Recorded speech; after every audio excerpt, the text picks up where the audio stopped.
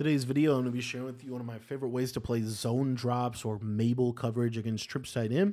I think this is super effective for stopping a lot of the different threats that trips tight end poses to you uh, offensively. And we're going to be talking about this out of the $1.32 defensive ebook. Um, now, if you guys want to get my full version of this $1.32 defensive ebook, it's in the Kansas City Chiefs playbook.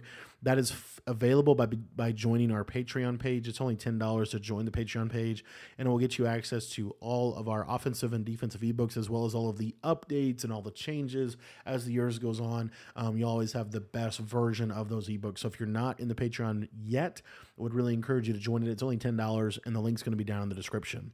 For this defense right here that we're going to be showing you today, what we're going to be doing is we're going to have auto flip defensive play call off. We're going to have our uh, auto alignment set to base and then we're going to put our flats on 30 or our and our curl flats on 5 and then I actually like to leave my zone coverage on default because this is going to make your outside quarters play a little bit lower and they're going to do a much better job against tight end corner routes, which is the first and most important thing here.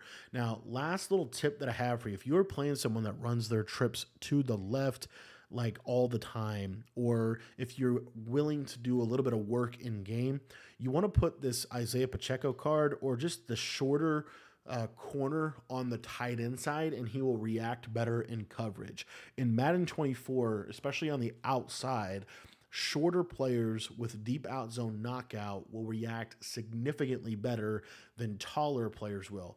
Now, at the safety position, I think it's actually an advantage to have taller safeties because they will uh, get a lot more interceptions and pass breakups in the middle of the field. So, just a little bit of placebo potentially, but I really recommend a short guy on the tight end side. I think it's very helpful for getting knockouts. We have deep out zone KOs, super important. You need to be rocking deep out zone KOs and deep in zone KOs. It will automatically make your defense better. If you are in regs or CFM, then use a team that has a deep out zone KO. Um, or this defense is still a good concept even if you don't have KO abilities. Okay. Free safety zone blitz. And again, we're coming out in this base aligned, okay? So the first setup, all we're going to do is we're going to pinch our defensive line. We're going to press coverage. And then really important, you need to do this as soon as you possibly can. You need to back off this corner on the trip side. If you don't back him off, even if, let's say, they're not running – uh, play action. If you don't back him off, what a lot of times really uh, advanced players can do is they can actually freeform and high point a fade over the top on the left hand side. So just just beware of that. That is a threat, we need to honor that threat. So we're going to automatically back this guy off. From there, what we're able to do with this defensively is we're able to create a really, really good roll coverage. All we're going to do is we're going to cloud flat the outside corner that we backed off. We are going to deep half the cornerback or the safety that is on the trip side. If you want to outside third him, you would need to do the safeties package. To me, the deep half will do just fine. And then we're going to outside quarter the tight end side cornerback over here on the right side. And then we're done. That's it. It's a four man blitz. If you want to, if you only want to send three, then I would really recommend taking this linebacker and manning him up on triangle because if you don't do that, he will hurt you in the seam area of the field. Now, the first and, and really the biggest priority that I have here is to show you this right here. So, if someone runs this setup on you, this is a really good setup for trying to attack the right side of the field if you don't have a backed off cloud. But what you'll see here is this outside quarter will play it just enough. And and that's in that situation, they actually caught it. But I'm telling you, you will get picks, you will get knockouts if you put this outside quarter out there. I really like to shade outside. I really think that helps this year. And then obviously you're going to user the tight end off of the rip here. So you're going to go from the tight, your lurk essentially here is going to be from the tight end to the running back. So what I also like to recommend to people is you can actually man up the running back with your user, and this will make the outside quarter play better against any crossing route or tight end corner. So you'll see here, I'm going to go here. Now look at that quarter. He's able to get there, and that's a KO. A lot of times it's a KO, potentially an interception. Okay. Uh, and if they keep going to that, there's obviously adjustments that we do have to stop that in our in our full ebook on this. Um, another really underrated adjustment I think is vert hooking this guy right here on the seam, and the reason why is just because by vert hooking him, he'll take away kind of the early area that you can throw this, and then the late area should be taken away by that outside quarter defender. So those are a couple of different strategies for defending the corner routes. The one to, the the one corner route you're not going to have to worry about. So the only corner route you're going to have to worry about here is you're going to have to worry about the tight end corner out of verticals. But if they were to go to the curl flat tight end corner, because that tight end corner is super deep, that quarter will play it every single time. Another thing that is really important that we need to talk about here is let's say they go to like a PA counter go uh, style style of setup here. So something like this. If they go to something like this, that quarter is also going to play that because of the fact that we're putting this inside third here, uh, or we, we already have it stock on the play. What you'll see is this quarter, and we're going to get screamed at here, of course, we got the best blitz in the game, but the quarter is going to defend the crosser. That's the biggest thing I want you to see here and we'll talk about why that's so you see here like we would user that kind of right in here. At this point about about right in here we would then bail and we'd go to this en route. What you'll see though is once this hits the numbers notice the quarter is turning his head because he's looking back to go guard the receiver okay? Okay a couple other plays that are very popular. One of the plays that is very very popular is verticals and i want to show you kind of the if this then that that you need to be aware of with verticals so this is the only play that can really kill you in this, and it's because they can throw this right here. Okay.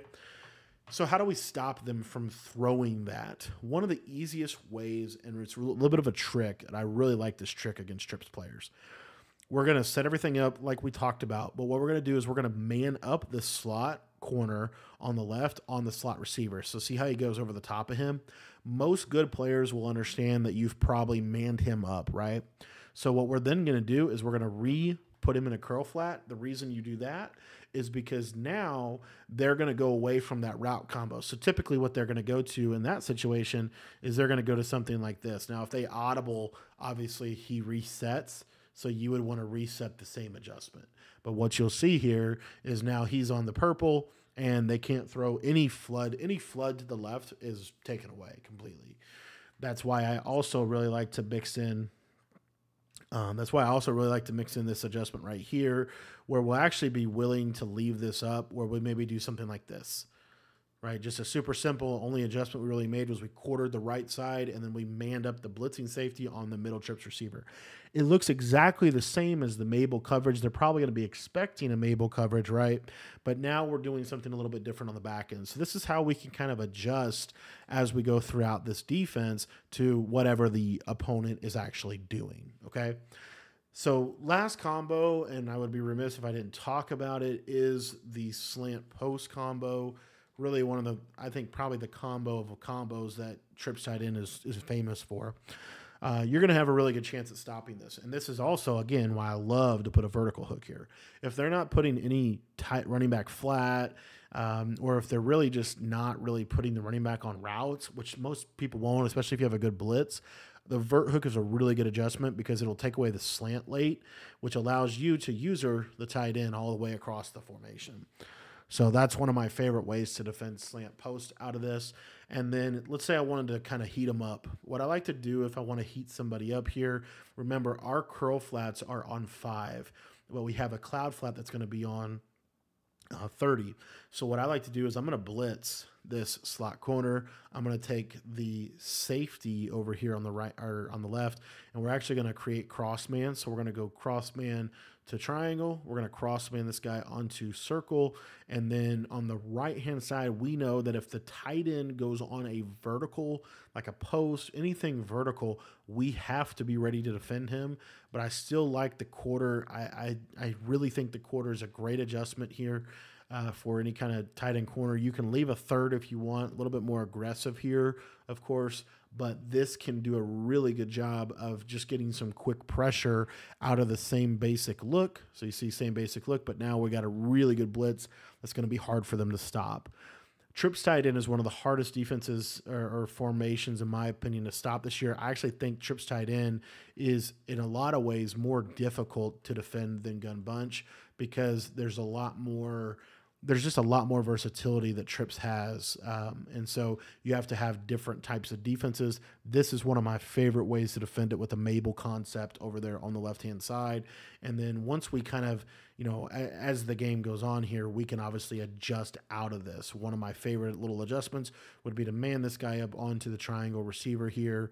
And then really from there, you know, you can literally just run it like this and kind of risk that outside defender. Most of the time, they're not going to test you. If they do test you, then you can get into something like this. Super simple little adjustment for trips tight end. Guys, I want to thank you for watching the video. And if you want to get my entire $1.32 defensive ebook that breaks down my entire strategy for defense this year, all my blitzes, everything that we uh, really recommend for you to become a better Madden player, I would really encourage you to sign up for the Patreon. The link's going to be down in the description below. I want to thank you for watching. And to sign up for the Patreon, head down to the description and uh, go click the link down below.